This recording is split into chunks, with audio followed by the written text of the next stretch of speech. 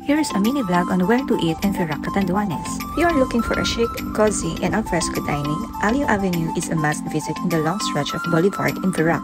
It's an Instagrammable coffee shop with a sea view that will make you relax on a breezy day. So here's their menu. Sulit na sulit ang price kaya mapaparami ang order mo. What we tried, tuna pasta, aglio olio, clubhouse galore, tapalicious, sisig, chicken alfredo, kani salad, fish and chips, black tea, and hot choco. Sa mga na-order namin, lahat naman ay masarap talaga. Pero ang pinaka nagustuhan ko ay ang alio olio nila. Sulit na sa price tapos ang sasarap pa. Meron din silang mga ensaymada at bento cakes. Open sila everyday from 2pm to 10pm. Ayain na ang mga kaibigan at pumunta na sa Ali Avenue